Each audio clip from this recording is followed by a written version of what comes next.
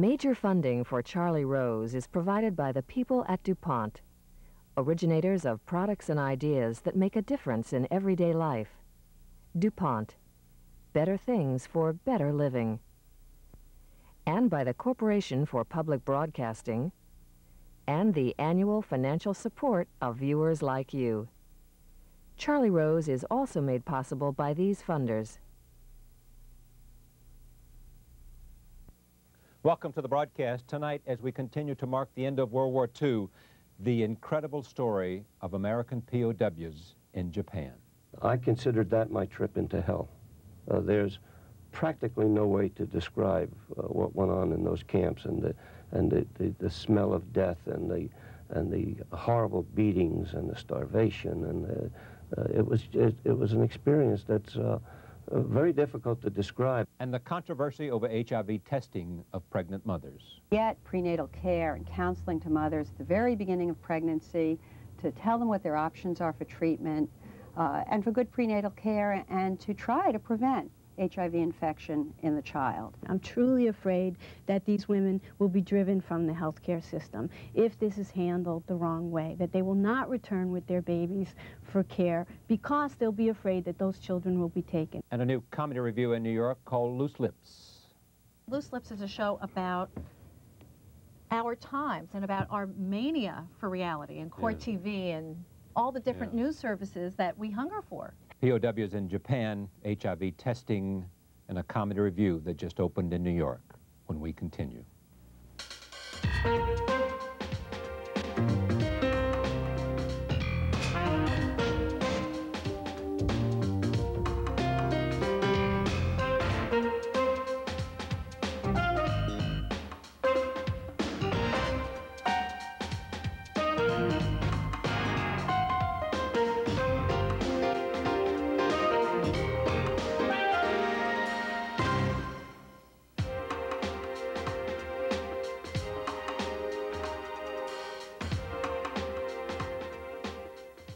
During World War II, one in 25 American prisoners of war died in Nazi prison camps. That's one in 25.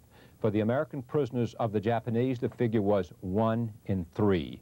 With the perspective that honorable men would prefer death to captivity, the Japanese military felt at liberty to torture, experiment with, and murder soldiers in their prison camps.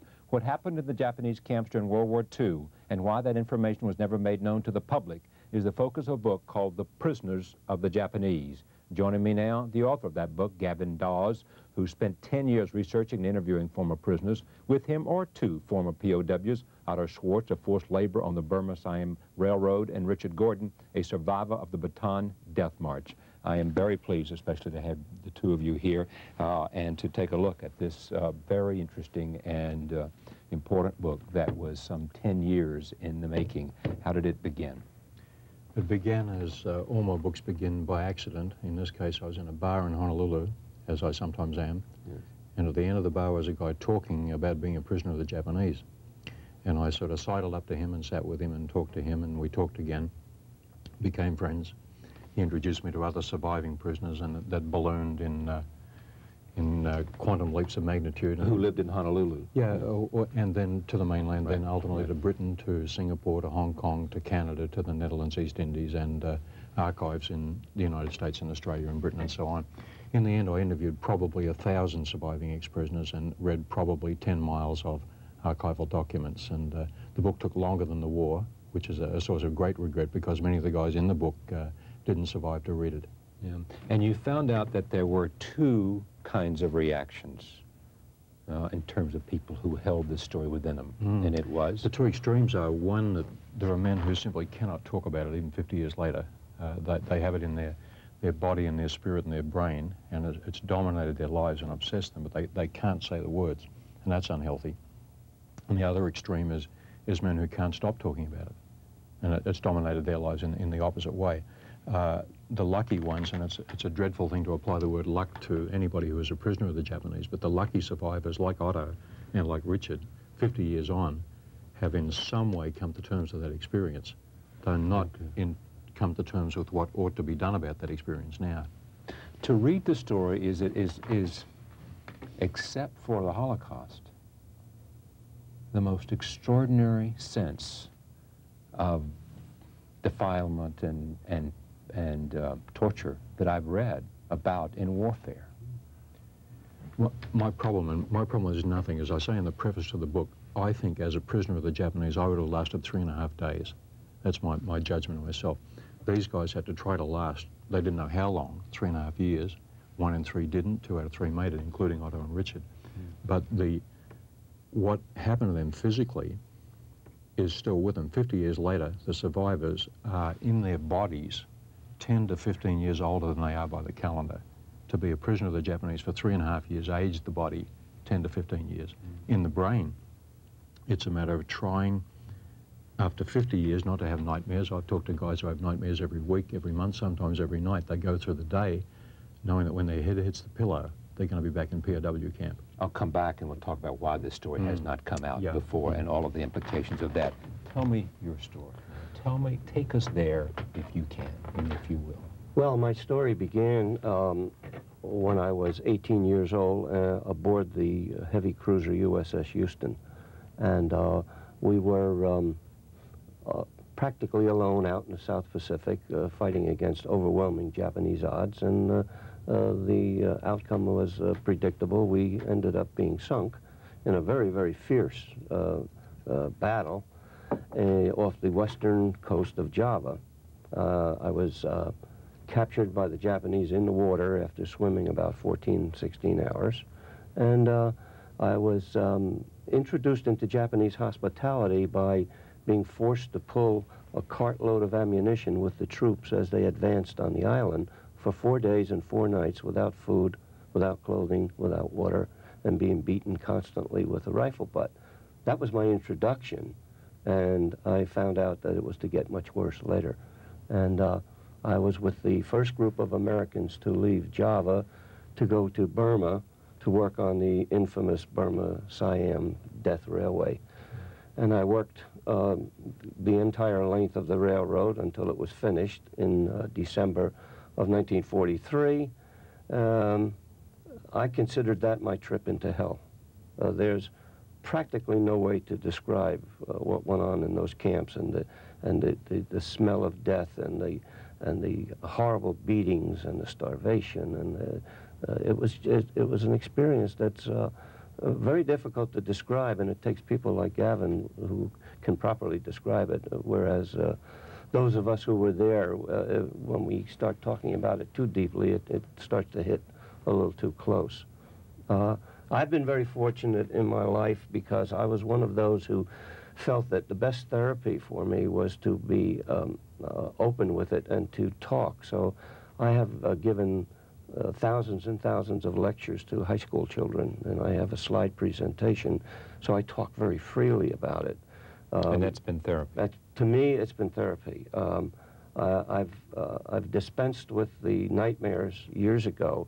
Um, occasionally, someone will ask me a question during one of my lectures that will open up something deep eh, that had been locked up, and I may not sleep that night.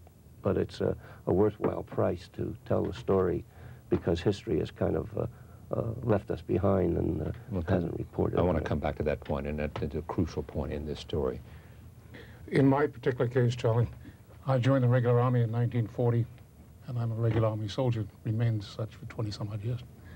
And I enlisted for the Philippines.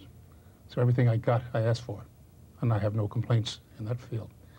Uh, I went to the Philippines and I joined the only American infantry regiment we had there, 31st U.S. Infantry uh, one infantry regiment when the Japanese finally struck in the Philippines. And uh, we were there, we arrived there in October of 40, and we had 14 months prior to the war breaking out, which for me was a lifesaver. It conditioned me for what came about. And when we went into Bataan, we found ourselves with 100,000 Filipino soldiers, practically untrained, and 12,000 American soldiers, with food for perhaps 30 days uh, between the lack of food, malaria, the most heavily infested malaria area in the world at that time was Bataan Peninsula in, in the Philippines. So by March the 1st of 1942, most of our people, 80% of our troops, were sick with malaria. There was no food. Our rations were twice a day, eating half of what we normally would eat, and that was salmon and rice twice daily, which no American can really uh, get by with. And then in midst of all that, fight off Japanese attacks. And so when the Japanese came through, when they finally came through on the 3rd of April of 1942, uh, they had a very sick, diseased army facing them. And it was just a question of time until the army fell. We ran out of food, and we had one day's supply of food left when Bataan surrendered. And General King was our commanding general. General King said, in essence, there's a limit to human endurance, that we've reached that. And he went uh, and surrendered to the Japanese, but he asked three times of the Japanese, would you assure me that my men will be treated decently? And all three times he was ignored. On the fourth time he asked, and they said basically to him, we are not barbarians. Well, they were barbarians. They treated us as animals. They told us we were animals. In a recent trip I made to Japan three years ago, four years ago, I met one of my former prison guards. And he told me right to my face, you were animals.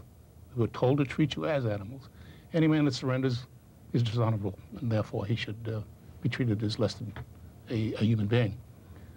But when Bataan fell, we found ourselves with something like 100,000 men trying to march out of the Bataan Peninsula with no food, no water, and everybody sick. And in my own particular experience, it took us 10 days, it took me 10 days to make that march. In that time, I never ate anything that the Japanese gave us because we had nothing. They gave us nothing. Water, if it wasn't me knowing how to conserve my water, I would have died from lack of water, as most men did. On that march, we lost at least 700, the Americans, conservatively estimated, and about 10,000 Filipinos died in that march. And when we arrived in our first prison camp, uh, we arrived there by virtue of a train where they packed men into a railroad car of the old 1918 vintage, where men couldn't sit down, they had to stand up. They died standing up because of the lack of air in that car.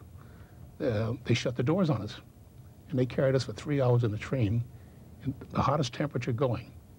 When we got off the train, they marched us some more into our first prison camp, O'Donnell. We had one water spigot for 3,000 men. They'd turn the water on, and they would turn it off after so many hours. And many men were without water. Uh, we, we all had disease of one kind or another. Malaria was killing off men, where the Filipinos were dying at a rate of 500 a day in Camp O'Donnell, a very infamous prison camp if ever there was one. The Americans, we lost 1,600 there in 40 days. Let me interrupt this story only to say, because I want to come back to why this story has never been told. And, and not to be sensationalistic, but if this is a document mm -hmm. of man's inhumanity to man. What's the worst thing you saw? The worst thing I saw was beheading. The worst thing I saw was tanks rolling over human bodies that were sleeping on the side of the road. Uh, the worst thing I saw was men being stuck with a bayonet when he had done nothing other than try to get water. Uh, these are some of the things that stick in your mind down through the years that you never forget.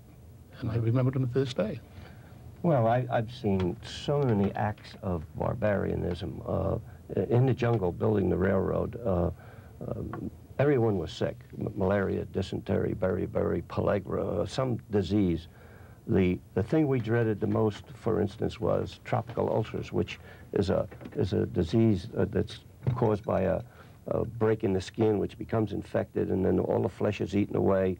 And uh, I have seen Japanese guards kick a man on the ground in the open wound, which was uh, right down to the bone, just kick him in, in that wound and then stand there and laugh. There are stories here also of, of all kinds of barbarism having to do with, with uh, pressure tanks so that the eyes actually bulge out. Yeah, the, There's stories of living autopsy, autopsies on people who are living. There's stories all kinds of infections with disease to test, as, uh, to, to do use prisoners for tests to determine certain kinds of, of uh, medical endurance, all those kinds of things. Why has this story not been told before 1995? When I had talked to maybe 10, 15, a dozen, 100 prisoners and decided that there was a book in it for me, selfishly that there was a book in it for me, I went to the official histories, and the official history done by the Japanese is um, 102 volumes amounting to millions of words and their side of the war in immense detail. Not one word about the prison camps on the Japanese side. And I suppose in, in a way that's not greatly surprising, but then to go to the Allied histories done by the Americans, the Australians, the British and the Dutch in the 5, 10, 15 years after the war, they cumulatively are more than 100 volumes, in other words, millions of words. And the number of words devoted to their own POWs, Allied POWs, you could read before lunch. So they disappeared from history in the official histories. Why? Why was that? Well, if I had an intelligent MA student